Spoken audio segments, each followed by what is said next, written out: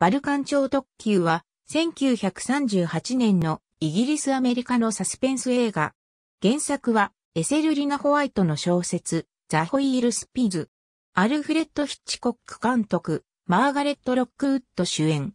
各国が戦争に突入しそうな不穏な時代でのヨーロッパの架空の国バンドリカの山奥で列車が雪崩で動けなくなっており、駅の待合所では出発は明日になる旨が乗客に告げられる。乗客にはクリケット教のカルディコットとチャータース、トッドハンター弁護士と実は、妻ではなく愛人で、不倫の中である仮のトッドハンター夫人、家庭教師のミス・フロイなどがいて、仕方なく駅の近くの狭いホテルに泊まることになる。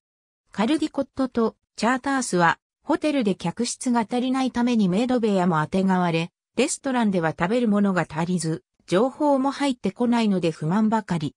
同じホテルには、結婚前の最後の旅行で、友人二人と楽しんでいる、アイリス・ヘンダーソンというイギリス人女性がいるが、友人から結婚を心配されている。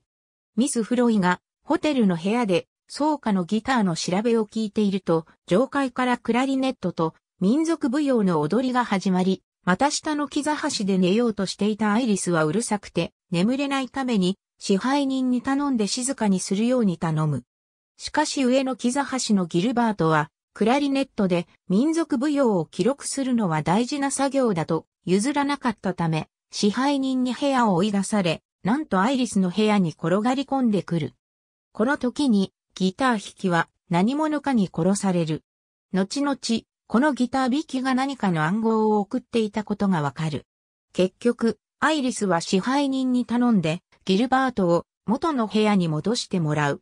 翌日、列車は運行され、みんな乗り始めるのだが、アイリスは出発時にミス・フロイを狙ったと思われる、落ちてきた植木鉢に頭に当たり、列車に乗ってからも朦朧となる。列車で同室となったミス、フロイと食堂車に行って、ご茶を飲んで過ごし、客車に戻って、一眠りしたアイリスが起きた時には、ミス・フロイは消えていた。同室の乗客がミス・フロイなど知らないと言ったために、心配になったアイリスは探し回るのだが、他の乗客も乗務員も初めから、そんな老女は見なかったと口を揃える。さらに、同乗していた巧妙な医師のエゴン・ハーツは、ミス・フロイは実在せず、アイリスが頭を打った後遺症で記憶障害を起こしているのだと断定する。ミス・フロイの実在を信じるアイリスは、乗客のギルバートと共に、列車内でミス・フロイを探し始める。お忍びの不倫旅行中のトッドハンター弁護士は、アイリスとは関わりたくない雰囲気で嘘を吐き、カルディコットとチャータースはクリケットを馬鹿にしたアイリスの質問には答えないでいる。列車は次の駅で止まり、全身包帯の病人が運び込まれるのをエゴンハーツ医師から聞いたアイリスとギルバートはミス・フロイが降ろされるのではないかと見張るのだが何も起きない。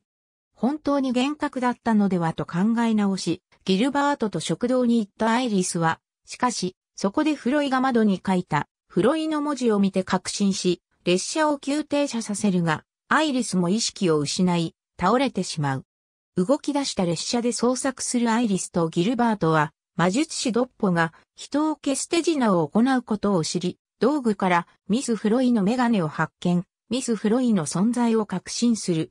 魔術師ドッポが現れ、アイリスとギルバートは戦うが、ドッポには手品の箱で逃げられてしまう。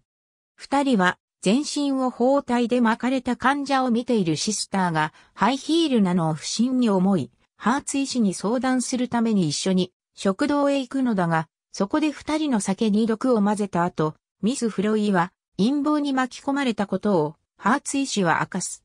医師はバンドリカ国のスパイであり、球児と魔術師、ドッポの一座や乗客などを買収して、ミス・フロイを拉致しようとしているのを告げるのであった。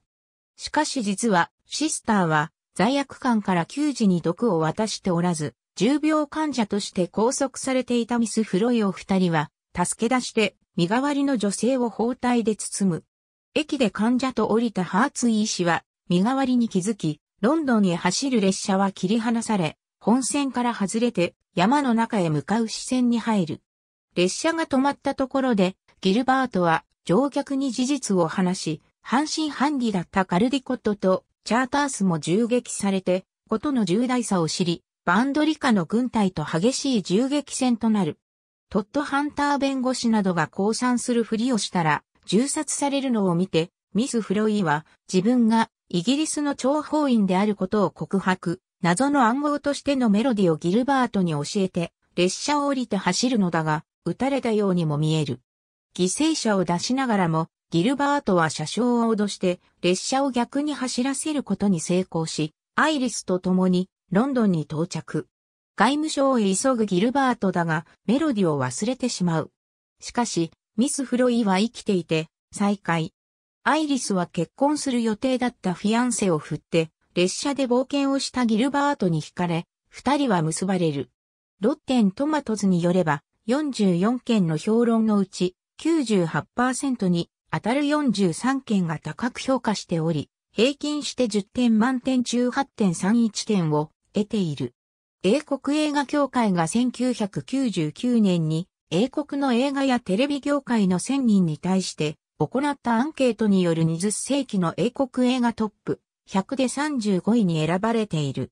雑誌タイムアウトが150人を超える俳優、監督、脚本家、プロデューサー、評論家や映画界の有力者に対して行ったアンケートによる英国映画ベスト100で31位に選ばれている。